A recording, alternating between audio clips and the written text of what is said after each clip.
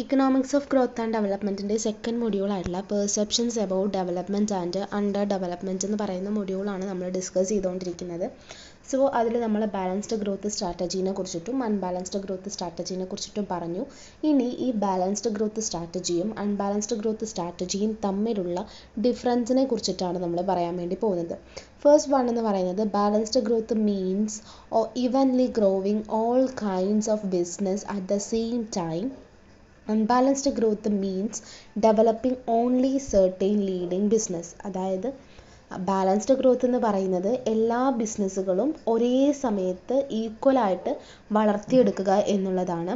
എന്നാൽ unbalanced growth സ്ട്രാറ്റജിയെ സംബന്ധിച്ചിടത്തോളം ചില മുൻനിരയിൽ നിൽക്കുന്ന അല്ലെങ്കിൽ സ്പെസിഫിക് ആയിട്ടുള്ള അല്ലെങ്കിൽ ലീഡിങ് ബിസിനസ് മാത്രം വളർത്തിയെടുപ്പ് എടുക്കുക അല്ലെങ്കിൽ വികസിപ്പിക്കുക എന്നുള്ളതാണ്. Balanced growth needs a lot of money to invest in many different business at once അപ്പോൾ നമ്മൾ ഈ പറയുന്ന ബാലൻസ്ഡ് ഗ്രോത്ത് സ്ട്രാറ്റജിക്ക് അല്ലെങ്കിൽ ബാലൻസ്ഡ് ഗ്രോത്തിന് ഒരേ സമയം വിവിധ ബിസിനസ്സുകളിൽ ഇൻവെസ്റ്റ് ചെയ്യാൻ വേണ്ടിയിട്ട് ധാരാളം പണം ആവശ്യമാണ്. എന്നാൽ അൺബാലൻസ്ഡ് ഗ്രോത്ത് സ്ട്രാറ്റജി അല്ലെങ്കിൽ അതിനെ സംബന്ധിച്ച് less money needed because it focus only a few leading business അതായത് കുറച്ച് പണമാണ് ഇതിന് ആവശ്യം വരുന്നുള്ളൂ. ചില ബിസിനസ്സുകളിൽ ചില ലീഡിങ് ആയിട്ടുള്ള ബിസിനസ്സുകളിൽ മാത്രം ഫോക്കസ് ചെയ്യുന്നുണ്ട്. അവിടേക്ക് മാത്രമുള്ള കുറച്ച് എമൗണ്ട് മാത്രമാണ് ആവശ്യം. തേർഡ് പോയിന്റ് എന്ന് പറയുന്നത് balanced growth is a long term plan that grows different business all at once while unbalanced growth is a short or medium term plan that quickly grows specific leading business. Balanced growth എന്ന് പറയുന്നത് ഒരുപാട് കാലത്തേക്കുള്ള അതായത് ഒരു ദീർഘകാലത്തിന്റെ പദ്ധതിയാണ് balanced growth എന്ന് പറയുന്നത്. Unbalanced growth വെച്ച് കഴിഞ്ഞ് കഴിഞ്ഞാൽ ഒരു മിഡ് ആണ് ഒരു ഹ്രസ്വകാലത്തേക്ക് വേണ്ടി മാത്രമുള്ളതാണ് എന്നാണ് പറയുന്നത്. Balanced growth expects there to be enough workers and materials for all businesses while unbalanced growth expect there to be limited resources balanced ഗ്രോത്തിൽ ഒരുപാട് വർക്കേഴ്സിന്റെയും മെറ്റീരിയൽസിന്റെയും അതായത് ആ ഒരു ബിസിനസ്സിന് ആവശ്യമാണ്. അതായത് എല്ലാ ബിസിനസ്സുകളും ആവശ്യമായിട്ടുള്ള തൊഴിലാളികളും സാമഗ്രികളും അവിടെ ഉണ്ടാകും എന്നാണ് പ്രതീക്ഷിക്കുന്നത്. അതേസമയം നമ്മൾ ഈ അൺബാലൻസ്ഡ് ഗ്രോത്ത് സ്ട്രാറ്റജിയെ സംബന്ധിച്ച് നോക്കുകയാണെന്നുണ്ടെങ്കിൽ ഗ്രോത്ത് എന്ന് പറയുന്നത് പരിമിതമായ വിഭവങ്ങൾ ഉണ്ടാകുമെന്നാണ് പറയുന്നത്. അതായത് ലിമിറ്റഡ് ആയിട്ടുള്ള റിസോഴ്സസ് ആണ് അവർ അതിൽ പ്രതീക്ഷിക്കുന്നുള്ളൂ അൺബാലൻസ്ഡ് ഗ്രോത്തിൽ ബാലൻസ്ഡ് നല്ല രീതിയിലുള്ള റിസോഴ്സസും തൊഴിലാളികളെയും ഒക്കെ പ്രതീക്ഷിക്കുന്നുണ്ട്. Balanced growth thinks all business create benefits for each other while unbalanced growth believes only some business create these benefits balanced ഗ്രോത്തിനെ സംബന്ധിച്ച് നോക്കുകയാണെന്നുണ്ടെങ്കിൽ എല്ലാ ബിസിനസ്സുകളും പരസ്പരം ഇന്റർലിങ്ക് ചെയ്തിട്ട് ഒരുപാട് നേട്ടങ്ങൾ ഉണ്ടാക്കുമെന്ന് പ്രതീക്ഷിക്കുന്നു. എന്നാൽ അൺബാലൻസിനെ സംബന്ധിച്ച് ചില ബിസിനസ്സുകൾ മാത്രമാണ് വളർച്ചയിലേക്ക് എത്തുള്ളൂ അല്ലെങ്കിൽ നേട്ടങ്ങൾ സൃഷ്ടിക്കുന്നുള്ളൂ എന്ന് വിശ്വസിക്കുന്നു. Balanced growth helps to share the benefits of development equally and prevent inflation and unemployment വികസനത്തിന്റെ നേട്ടങ്ങളൊക്കെ തന്നെ തുല്യമായിട്ട് പങ്കിടാനും ഇൻഫ്ലേഷനും തൊഴിലില്ലായ്മയും ഒക്കെ തന്നെ തടയാനും ബാലൻസ്ഡ് ഗ്രോത്ത് സ്ട്രാറ്റജിക്ക് വേണ്ടി കഴിയുന്നു.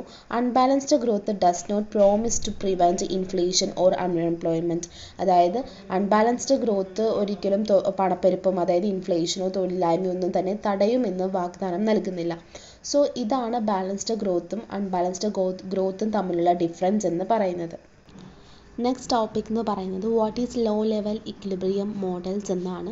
The low level equilibrium trap is an idea in economics by Richard R Nelson Richard R നെൽസന്റെ ഇക്കണോമിക്സിലെ ഒരു ആശയമാണ് നമ്മൾ ഈ പറയുന്ന ലോ ലെവൽ ഇക്വിലിബ്രിയം ട്രാപ്പ് എന്ന് പറയുന്നത്. It talks about the connection between population and income growth അതായത് ജനസംഖ്യയുടെയും അതുപോലെ തന്നെ വരുമാനത്തിന്റെയും ഗ്രോത്ത് റിലേറ്റ് ചെയ്യുന്ന ഇത് തമ്മിലുള്ള റിലേഷനെ കുറിച്ചിട്ടാണ് ഈ ലോ ലെവൽ ഇക്വിലിബ്രിയം മോഡലിൽ പറയുന്നത്.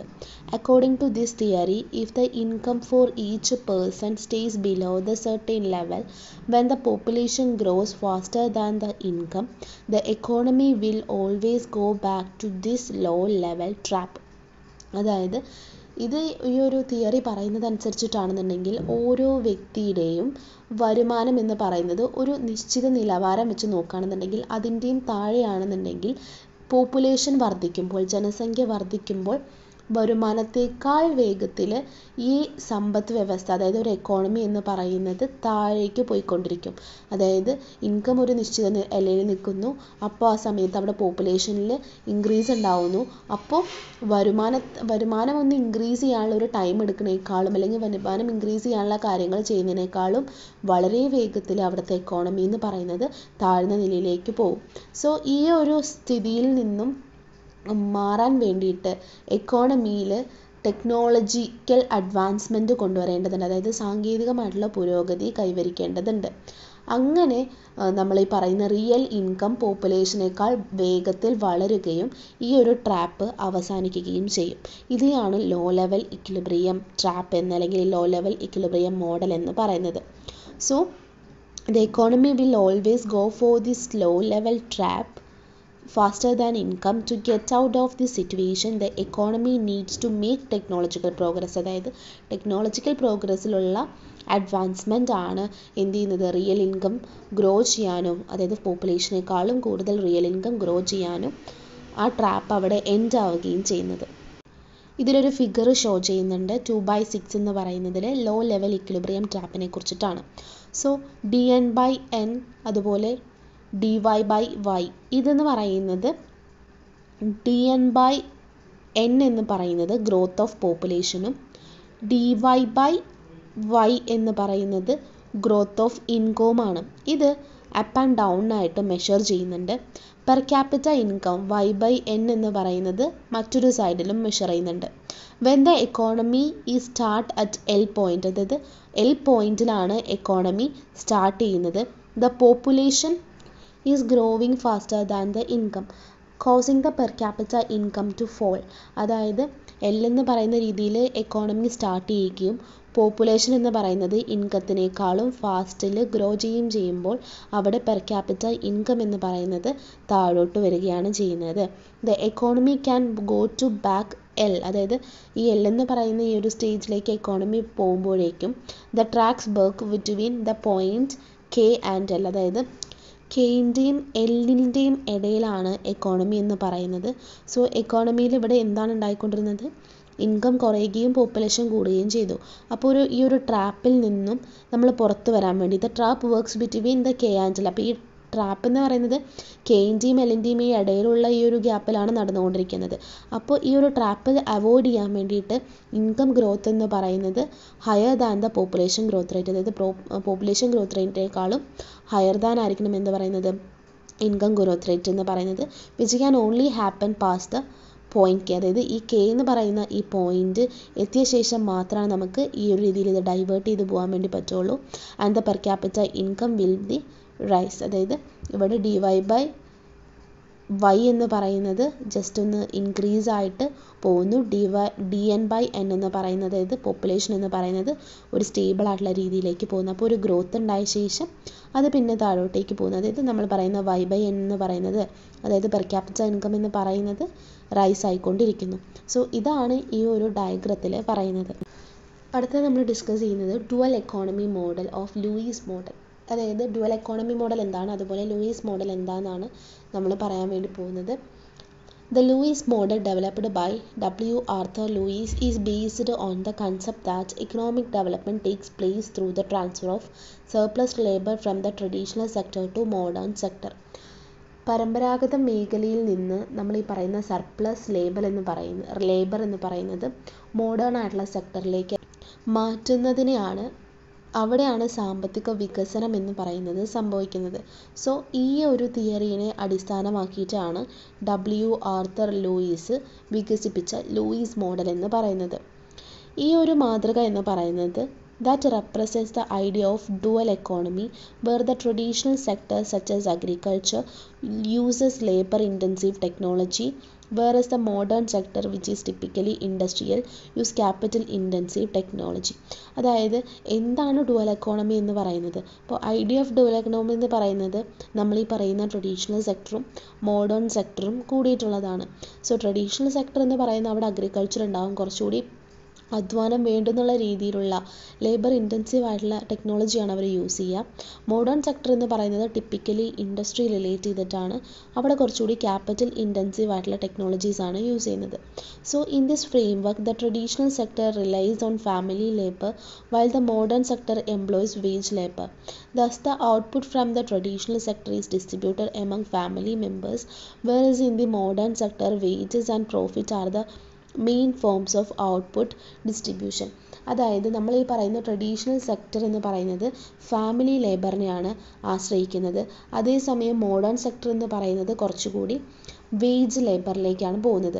അങ്ങനെ ഈ ട്രഡീഷണൽ മേഖലയിൽ നിന്നുള്ള ഉൽപ്പാദനം എന്ന് പറയുന്നത് ഈ ഒരു ഫാമിലി അതായത് ഫാമിലി ലേബറിലേക്ക് വിതരണം ചെയ്യപ്പെടുകയും അതേസമയം മോഡേൺ സെക്ടറിലുള്ള വേജ് അല്ലെങ്കിൽ പ്രോഫിറ്റ് എന്ന് പറയുന്നത് പലതരത്തിലുള്ള ഉൽപ്പാദന വിതരണത്തിന്റെ അതായത് ഔട്ട്പുട്ട് ഡിസ്ട്രിബ്യൂഷന്റെ പല ഫോംസ് ആണ് ഈ വേജസും പ്രോഫിറ്റ്സ് എന്ന് പറയുന്നത്.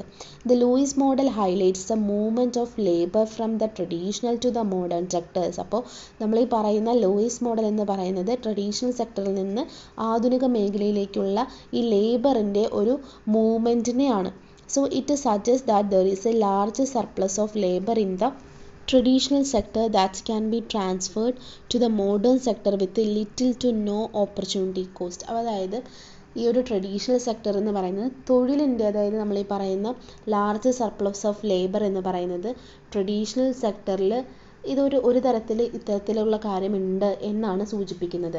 ഇത് ആധുനിക മേഖലയിലേക്ക് മാറ്റാൻ വേണ്ടി കഴിയുന്നു.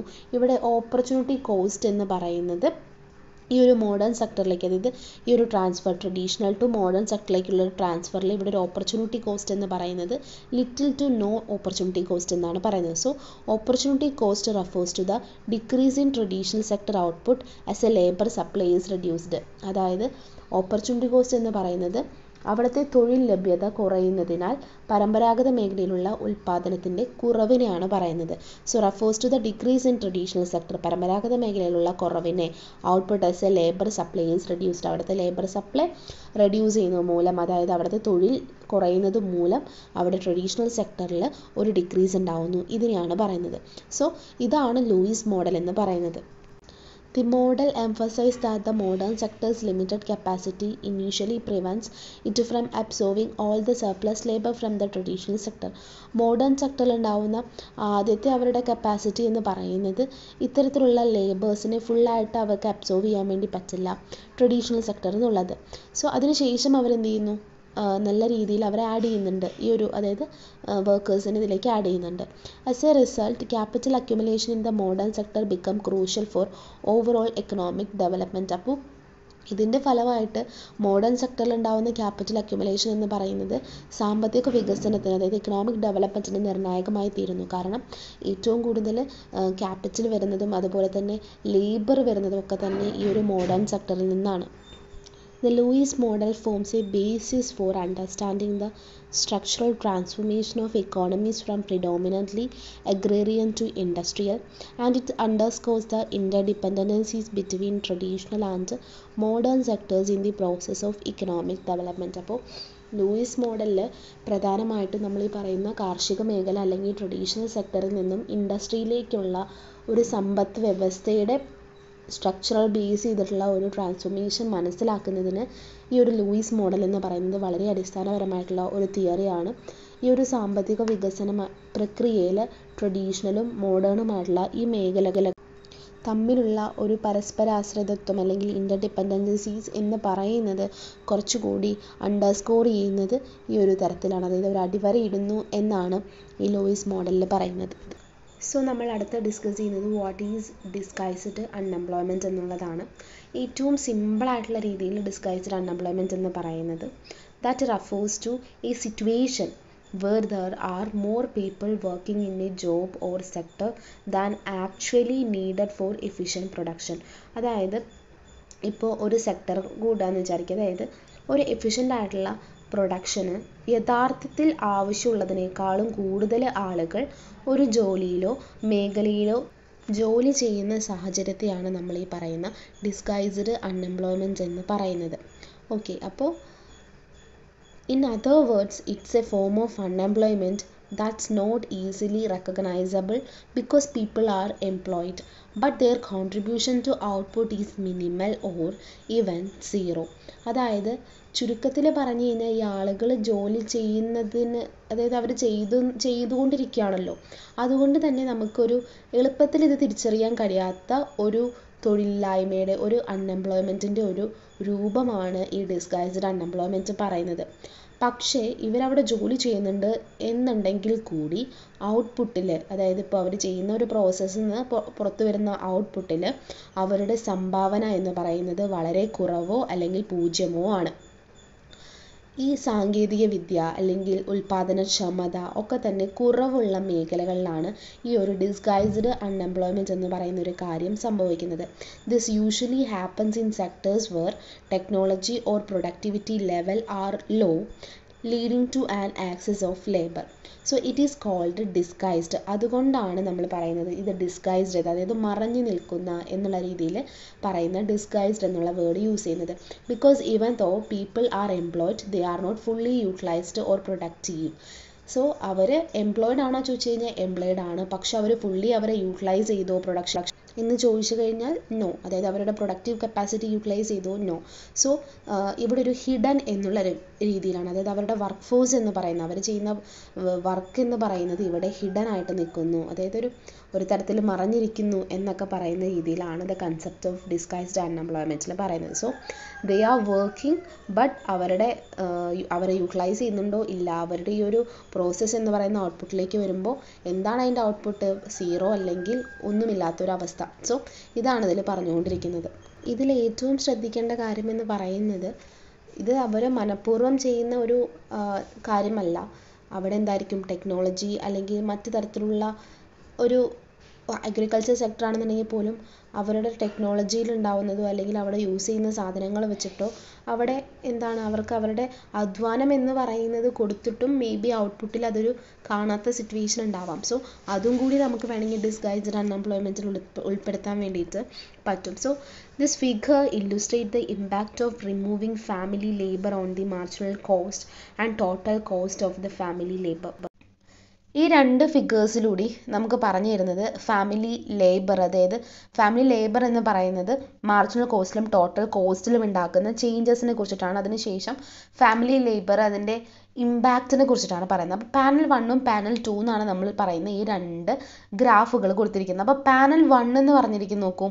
അവിടെ ഔട്ട്പുട്ട് ഉണ്ട്. അതായത് ടോട്ടൽ ലേബർ ഇൻപുട്ട് ഉണ്ട്. അതായത് ടോട്ടൽ ഫാമിലി ലേബർ എന്ന് പറയുന്ന അവിടെ ഉണ്ട് ഇപ്പുറത്തെ ഔട്ട്പുട്ടാണ് കാണുന്നത്. അതായത് ഹൊറിസോണ്ടലും വെർട്ടിക്കലും ആയിട്ടുള്ള രീതിയിൽ നോക്കാം. എന്നിട്ട് അതിലെന്താ ഉണ്ടാവുന്നത്?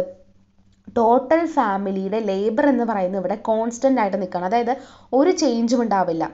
Removing family labor has different effects on marginal cost and total cost. In the first panel, where the marginal cost of each family member labor stays the same അതായത് മാർജിനൽ കോസ്റ്റ് എന്ന് പറയുന്നത് സെയിം ആയിട്ട് നിൽക്കുകയാണ് ഇതിൽ ചെയ്യുന്നത് അപ്പോൾ അതാണ് അവിടെ വരച്ച് വെച്ചിരിക്കുന്നത് അടുത്ത നോക്കൂ taking the out family member does not change the marginal cost പക്ഷേ ഈ ഒരു ഫാമിലി മെം ലേബർ എന്ന് പറയുന്നത് ടേക്കിംഗ് ഔട്ട് ചെയ്ത് കഴിഞ്ഞാലും മാർജിനൽ കോസ്റ്റിൽ ചേഞ്ച് ഒന്നും ഉണ്ടാവുന്നില്ല. So the total cost curve remain straight അതായത് ഇതിലെ ടോട്ടൽ കോസ്റ്റ് കർവ് എന്ന് പറയുന്നത് ഫാമിലി ലേബറിന്റെ എന്ന് പറയുന്നത് ഇവിടെ റിമെയിൻസ് സെയിം ആയിട്ട് നിൽക്കുകയാണ്. പക്ഷേ നമ്മുടെ പാനൽ ടൂലേക്ക് വരുമ്പോൾ removing labour makes the total cost curve shift up അതായത് ഈ ലേബർ എന്ന് പറയുന്നത് നമ്മളിവിടെ ഒരു ചേഞ്ച് വരുത്താണ് അതായത് ഇവിടെ നിന്ന് റിമൂവ് ചെയ്യാണ്. അതായത് ഇവിടെ മുൻപ് അവിടെ വരച്ചിരിക്കുന്നതിന് ഇപ്പുറത്തേക്ക് ഒരു വര വന്നിരിക്കുന്നു നോക്ക് പാനൽ ടൂൽ അവിടെയാണ് നമുക്ക് പാനൽ ടൂൽ ഈ റിമൂവിങ് ലേബർ എന്ന് പറയുന്ന ഒരു കാര്യം കാണുന്നത്. ആ ലേബർ അവിടെ മാറ്റം വരുത്ത് അവിടെ ഒരു ഷിഫ്റ്റിംഗ് അപ്പാണ് ഉണ്ടാകുന്നത് അതായത് നമ്മൾ ആ ഇപ്പോൾ സ്ട്രെയിറ്റ് ലൈൻ ആയിട്ടുണ്ടായിരുന്ന സാധനം എന്ന് പറയുന്നത് total cost of family labour എന്ന് പറയുന്നത് ഒരു കേർവ് ആയിട്ട് മാറുകയാണ്. അവിടെ ഒരു ഷിഫ്റ്റ് ഉണ്ടാവുകയാണ് മുകളിലേക്ക്. So showing that maintaining the same family effort as before now cost are per unit എന്ന് പറയാം. അതായത് നമ്മൾ ഇതിൽ സെയിം ആയിട്ട് കാണുന്നതിന് പകരം ഓരോ ഈച്ച് യൂണിറ്റിനെയും നമ്മൾ കണ്ടതുകൊണ്ടാണ് ഈ ഒരു ലേബർ എന്ന് പറയുന്നതിന്റെ ഇത് total cost of family labour എന്ന് പറയുന്നതിൽ ഒരു കേർവ് ഉണ്ടായത്. അത് ആഫ്റ്റർ ഒരു ചേഞ്ച് ഉണ്ടാവുന്നു പ്രൊഡക്ഷൻ ഫംഗ്ഷനിൽ ഉണ്ടാവുന്ന ചേഞ്ചസിനെ കുറിച്ചിട്ടൊക്കെ പറയുന്നുണ്ട്. സോ പാനൽ വണ്ണും പാനൽ ടു ആണ് ഇതിലുള്ളത്.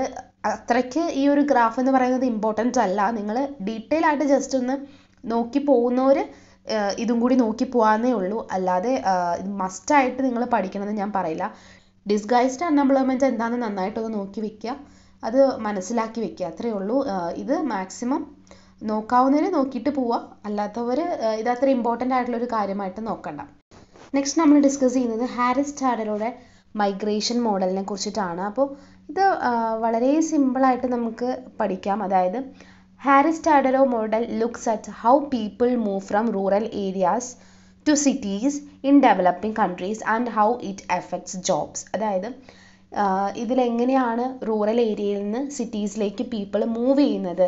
അത് എങ്ങനെയാണ് ജോബിനെ അഫക്റ്റ് ചെയ്യുന്നതാണ് പറയുന്നത്. Unlike the Lewis model which expected migration to boost industry the Harris Todaro model explains why urban unemployment can arise instead അതായത് നമ്മുടെ ലൂയിസ് പറയുന്നതനുസരിച്ചിട്ട് ലൂയിസ് പറഞ്ഞിട്ടുണ്ടായിരുന്നു നമ്മൾ അദ്ദേഹം മൈഗ്രേഷനെ സപ്പോർട്ട് ചെയ്തു. അതായത് ഇപ്പോൾ ലേബറും കാര്യങ്ങളൊക്കെ തന്നെ ഇൻഡസ്ട്രിയിലേക്ക് വരുന്ന അതായത് അർബൻ ഏരിയാസിലേക്ക് വരുന്നതിനെ പുള്ളി സപ്പോർട്ട് ചെയ്തിട്ടുണ്ടായിരുന്നു. പക്ഷേ നമ്മുടെ ഹാരിസ് ടോഡറോ മോഡലിനെ വെച്ച് നോക്കുകയാകുമ്പോൾ അർബൻ അൺഎംപ്ലോയ്മെന്റിന് ഇത് കാരണമാകുന്നു എന്നാണ് പറയുന്നത്.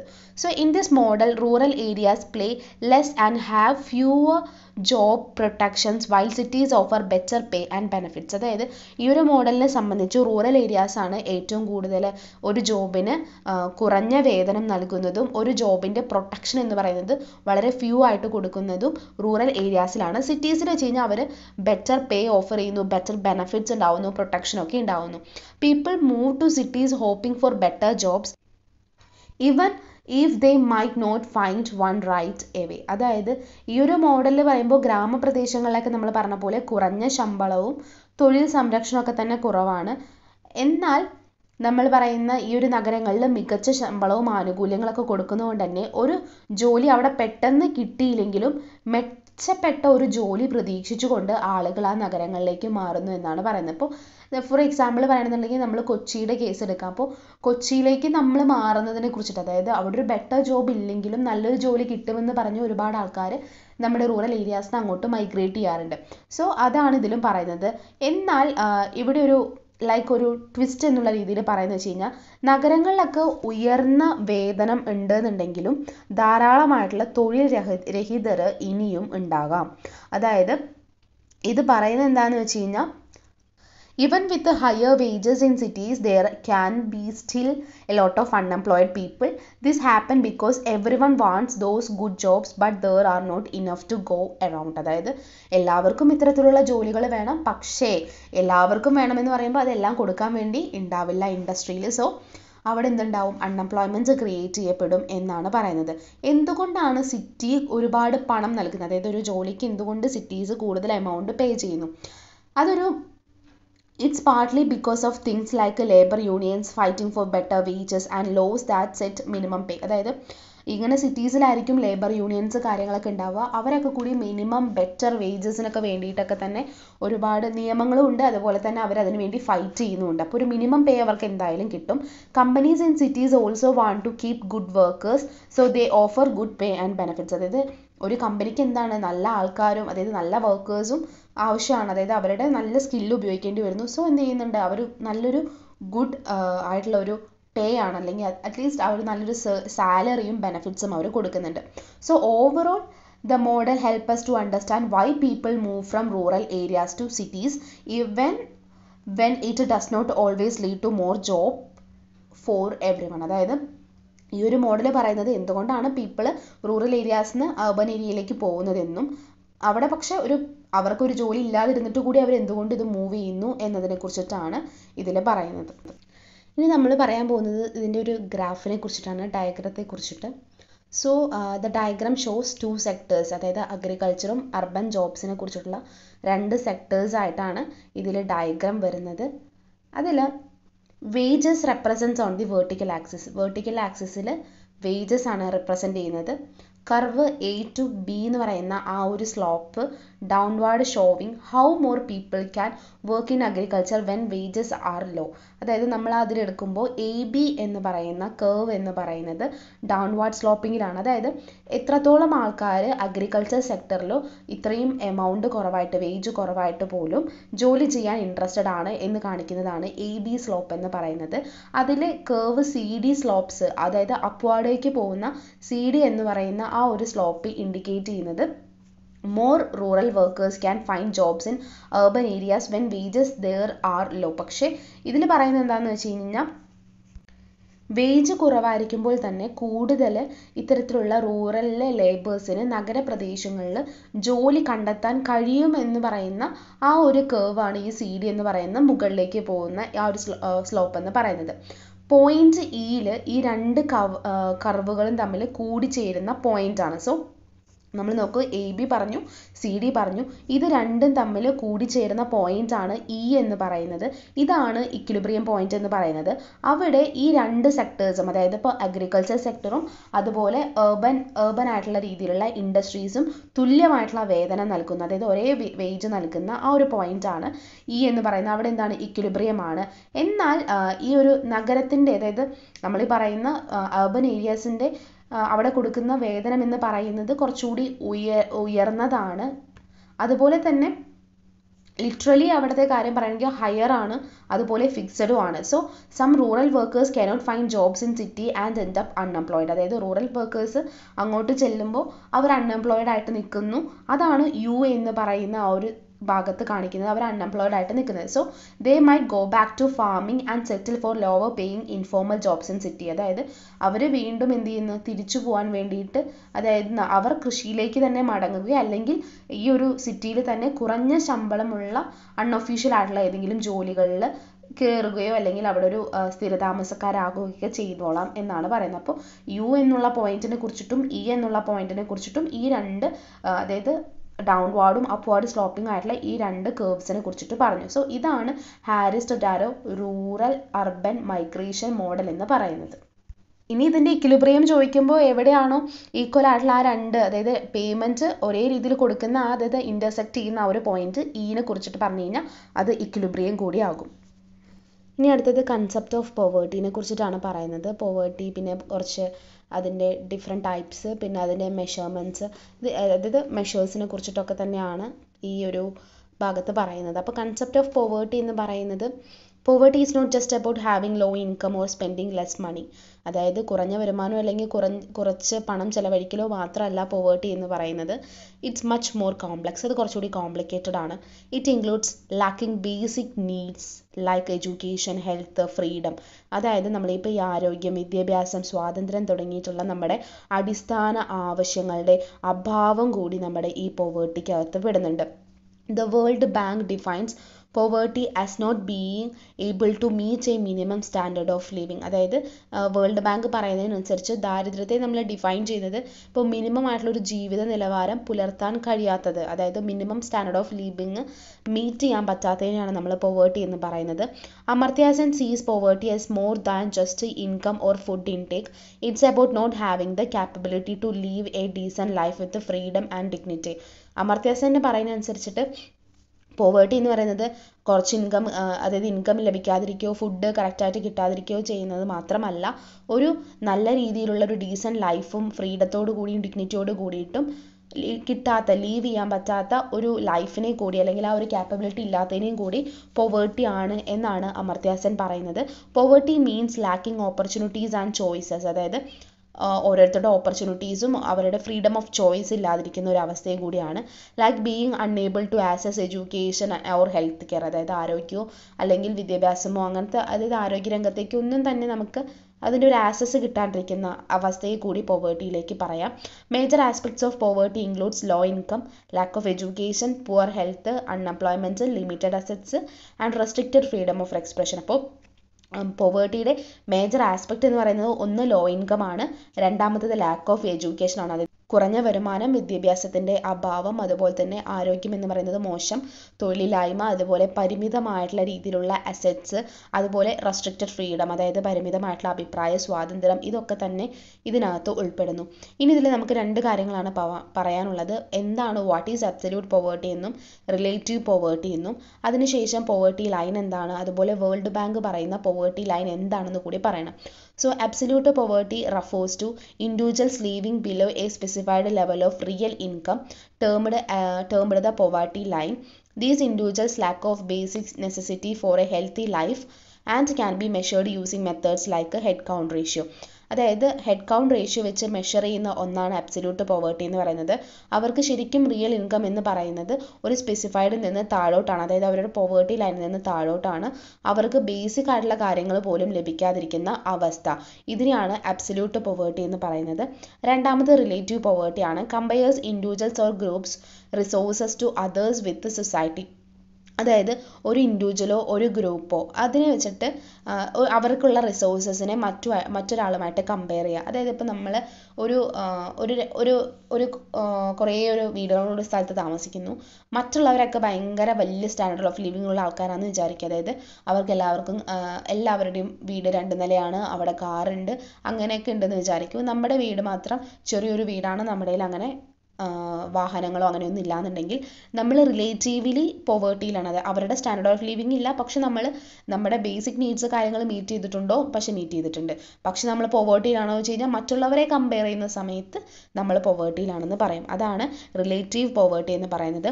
പോവേർട്ടി ലൈൻ വെച്ച് കഴിഞ്ഞാൽ represents a critical threshold dividing the population into poor and non poor categories അതായത് പോപ്പുലേഷനെ രണ്ടായിട്ട് ക്ലാസിഫൈ ചെയ്യുന്ന രീതിയിലുള്ള ഒരു ത്രഷോൾഡാണിത് പുവറും നോൺ പുവറും എന്നുള്ള രീതിയിൽ ഇൻകം കൺസംഷൻ ലെവൽ അതിനനുസരിച്ചിട്ടായിരിക്കും ഈ പുവറും നോൺ പുവർ ആണെന്നൊക്കെ പറയുന്നത്. It indicates the minimum amount of money needed to meet basic needs of on calculated in terms of food consumption and calorie intake അതായത് ഒരു ബേസിക് ഒരു എമൗണ്ട് ഉണ്ട്. ആ ഒരു ആ ഒരു എമൗണ്ട് ഉണ്ടെന്നുണ്ടെങ്കിലാണ് ഒരാൾക്ക് ഒരു ദിവസം അയാളുടെ ബേസിക് നീഡ്സ് മീറ്റ് ചെയ്യാൻ വേണ്ടി പറ്റുള്ളൂ. അപ്പോൾ ആ ഒരു എമൗണ്ട് കിട്ടാണ്ടിരിക്കുമ്പോൾ അയാൾ എന്ത് ചെയ്യും? നമ്മൾ ഈ പറയുന്ന പോവേർട്ടി ലൈന്റെ അണ്ടറിലേക്ക് പോകും. ഒരു ബേസിക് ആയിട്ടുള്ള രീതിയിലുള്ള നമ്മൾ പറയുന്ന ഒരു ത്രഷോൾഡ് ഉണ്ട്. അതായത് പോപ്പുലേഷനെ രണ്ടായിട്ട് ഡിവൈഡ് ചെയ്ത് ഒരു ബേസിക് ഇൻകം വെച്ചിട്ട് അല്ലെങ്കിൽ ഒരു ടൈപ്പ് ഓഫ് കൺസംഷൻ ലെവൽ വെച്ചിട്ട്. സോ ഇത് കാൽക്കുലേറ്റ് ചെയ്യുന്നപ്പോൾ ഫുഡ് കൺസംഷനിലൂടെയോ കാലറി ഇൻടേക്സിലൂടെയോ ഒക്കെ തന്നെ ആയിരിക്കും ഈ സംഭവം ഈ ടേംസ് ഒക്കെ തന്നെ കാൽക്കുലേറ്റ് ചെയ്യുന്നത്. ഇതിനാണ് പോവേർട്ടി ലൈൻ എന്ന് പറയുന്നത്. അപ്പോൾ പോപ്പുലേഷനെ നമ്മൾ രണ്ടായി ഡിവൈഡ് ചെയ്തിട്ട് പുവറും നോൺ പുവർ എന്നുള്ള രീതിയിൽ അതിനുള്ളൊരു കണ്ടീഷനാണ് നമ്മൾ ഈ പറയുന്നത് ഇൻകവും കൺസംഷൻ ലെവലും ഒക്കെ. ഫോർത്ത് വൺ എന്ന് പറയുന്നത് വേൾഡ് ബാങ്ക്സ് പോവേർട്ടി ലൈൻ ആണ്. എന്താണ് വേൾഡ് ബാങ്ക് പറയുന്നതിനനുസരിച്ചിട്ടുള്ള പോവേർട്ടി ലൈൻ എന്ന് പറയുന്നത്? ഇതിൽ one point nine zero dollar per day കിട്ടാത്ത persons two thousand ഫിഫ്റ്റീനിൽ indicating those livings are less and considered below the poverty line അതായത് ഒരു ദിവസം one point nine zero dollar കിട്ടാതിരിക്കുന്ന ഒരു പേഴ്സൺ ടു തൗസൻഡ് ഫിഫ്റ്റീനിലെ കണക്ക് പ്രകാരമാണെന്നുണ്ടെങ്കിൽ അയാൾ പോവേർട്ടി ലൈനിന്റെ അണ്ടറിലാണ് many countries define their poverty line based on minimum cost of food consumption and terms of ക്യാ അതായത് ഇൻടേക്സ് ഓഫ് കാലറീസ് അതായത് പല നേഷൻസും പല രീതിയിലാണ് പോവേർട്ടി ലൈനെ മെഷർ ചെയ്യുന്നത്. മോസ്റ്റ് ഓഫ് ദം ചെയ്യുന്നതും ഫുഡ് കൺസംഷൻ വെച്ചിട്ടും അതിന്റെ ഇൻകം വെച്ചിട്ടൊക്കെ തന്നെയാണ്. ഇനി estimation of the poverty line India involves two main approaches അതായത് ഇന്ത്യയിലെ പോവേർട്ടി ലൈനെ എസ്റ്റിമേറ്റ് ചെയ്യാൻ വേണ്ടിയിട്ട് രണ്ട് അപ്രോച്ചസ് ആണ് ഉള്ളത്. കാലറി ബേസ്ഡ് എസ്റ്റിമേഷനും പെർ ക്യാപിറ്റ എക്സ്പെൻഡിച്ചർ ബേസ്ഡ് എസ്റ്റിമേഷനും കാലറി ബേസ്ഡ് എക്സ്പെറ്റി എസ്റ്റിമേഷൻ എന്ന് വെച്ച് കഴിഞ്ഞാൽ The Planning Commission used recommended nutritional requirement to define a poverty line. അപ്പോൾ ഒരാൾക്ക് കിട്ടേണ്ട ന്യൂട്രിയൻസ് വെച്ചിട്ട് അതിനനുസരിച്ച് പോവേർട്ടി ലൈൻ കാൽക്കുലേറ്റ് ചെയ്യലായിരുന്നു പ്ലാനിംഗ് കമ്മീഷൻ റെക്കമെൻഡ് ചെയ്തിട്ടുണ്ടായിരുന്നത്. അപ്പോൾ ന്യൂട്രീഷണൽ റിക്വയർമെന്റ്സ് ആണ് ഇതിനകത്ത് പറയുന്നത്. അതാണ് പോവേർട്ടീനെ ഡിഫൈൻ ചെയ്യുന്നത്. ഇൻ റൂറൽ ഏരിയാസ് ഒരാൾ ഒരു റൂറൽ ഏരിയയിൽ രണ്ടായിരത്തി നാനൂറ് കാലറീസ് ഒരു ഒരു പേഴ്സൺ പെർ ഡേ എടുത്തിട്ടില്ലെങ്കിൽ അയാൾ എന്താണ് പോവേർട്ടിയാണ് ഇപ്പം നമുക്കൊക്കെ അറിയാം. നമ്മളിപ്പോൾ കുറേ കാണുന്നതാണ്. അതായത് എത്ര കാലറീസ് നമ്മൾ കഴിച്ചു എന്നൊക്കെ നമ്മൾ നമുക്ക് നമ്മൾ പലരും ചെക്ക് ചെയ്യുന്നവരൊക്കെ ആയിരിക്കും. സോ രണ്ടായിരത്തി നാനൂറ് കാലറീസ് റൂറൽ ഏരിയാസിലും അർബൻ ഏരിയാസിലും രണ്ടായിരത്തി ഒരുന്നൂറ് കാലറീസ് പെർ ഡേ കഴിച്ചില്ലെങ്കിൽ അല്ലെങ്കിൽ പെർ ഡേ അയാൾക്ക് ലഭിച്ചില്ലെങ്കിൽ അയാൾ പോവേർട്ടി ലൈന്റെ അണ്ടറിലാണെന്ന് പറയാം.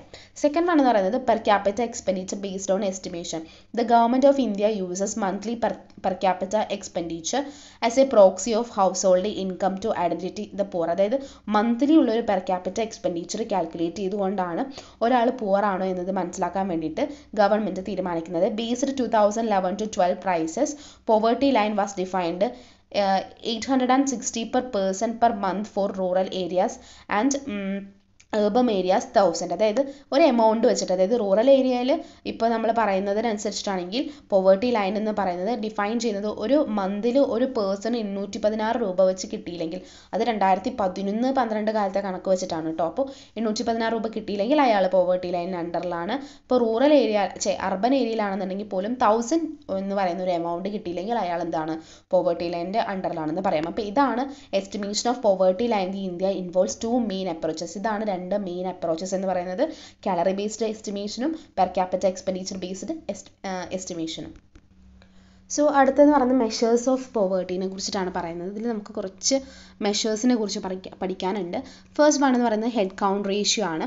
ഹെഡ് കൗണ്ട് റേഷ്യോ എന്ന് പറയുമ്പോൾ മൊത്തം ജനസംഖ്യയായിട്ട് താരതമ്യപ്പെടുത്തിയിട്ട് ഈ ഒരു മെഷർ എന്ന് പറയുന്നത് ദാരിദ്ര്യ രേഖയ്ക്ക് താഴെയുള്ള ആളുകളുടെ എണ്ണം കണക്കാക്കുകയാണ് അതായത് എത്ര വ്യക്തികൾ ദാരിദ്ര്യത്തിൽ കഴിയുന്നു എന്നതിന്റെ ഒരു ധാരണ വരുത്താൻ വേണ്ടിയിട്ടൊരു വേണ്ടിയിട്ടാണ് ഈ ഒരു ഹെഡ് കൗണ്ട് റേഷ്യോ ഇൻഡെക്സ് അല്ലെങ്കിൽ ഹെഡ് കൗണ്ട് ഇൻഡെക്സ് വരുന്നത്. So the measures count the number of people below the poverty line compared to total population total population അനുസരിച്ചിട്ടാണ് അവരെന്ത് ചെയ്യുന്നത്? എത്രത്തോളം ആൾക്കാർ പോവേർട്ടിയിൽ ജീവിക്കുന്നുണ്ട് എന്ന് പറയുന്നത്. So giving a basic understanding of how many individuals are living in poverty അതാണ് ഹെഡ് കൗണ്ട് റേഷ്യോ എന്ന് പറയുന്നത്. ഹെഡ് കൗണ്ട് ഇൻഡെക്സ് എന്ന് പറയുന്നത്. അത് കണ്ടെത്താനുള്ള ഒരു ഫോർമുല എന്ന് പറയുന്നത് എച്ച് ബൈ എൻ ആണ്. എച്ച് എന്ന് പറയുന്നത് number of people whose income fall below the poverty line ആണ്. അതായത് എത്ര പേര് പോവേർട്ടി ലൈന്റെ അണ്ടറിലേക്ക് വരുന്നു ആ ഇൻകം വെച്ചിട്ട്. എൻ എന്ന് പറയുന്നത് ടോട്ടൽ പോപ്പുലേഷൻ ആണ്. അതാണ് എച്ച് ബൈ എൻ എന്ന് പറയുന്നത്. സെക്കൻഡ് വൺ എന്ന് പറയുന്നത് പോവേർട്ടി ഗ്യാപ്പ് ഇൻഡെക്സ് ആണ്. It calculates the difference between the poverty line and the actual income of poor individuals providing insights into how much money is needed to lift them out of poverty on average അതായത് ഇത് poverty ലൈനും അതുപോലെ തന്നെ ഈ ദരിദ്രരായിട്ടുള്ള അതായത് poverty line എന്ന് പറയുമ്പോൾ നമുക്കറിയാം ഒരു ഇത്ര ഒരു ഇൻകം കിട്ടിയാലാണ് നമ്മൾ പോവേർട്ടി ലൈനിന്റെ മുകളിൽ പോകുള്ളൂ അപ്പോൾ ഒരു പോവേർട്ടി ലൈൻ എന്ന് പറയുന്നത് ഇത്ര ഒരു ഇൻകം ആണ് അല്ലെങ്കിൽ ബേസിക് ആയിട്ടുള്ള കുറച്ച് നീഡ്സ് ആണ് നമുക്കറിയാം. സോ ഈ ദരിദ്രരായിട്ടുള്ള വ്യക്തികളുടെ ആക്ച്വൽ ആയിട്ടുള്ള വരുമാനം എത്രയാണ്? അതും ഈ പോവേർട്ടി ലൈനിൽ വന്നിരിക്കുന്ന ഈ ഒരു ഇൻകവും തമ്മിലുള്ള ഡിഫറൻസ് എന്താണ്?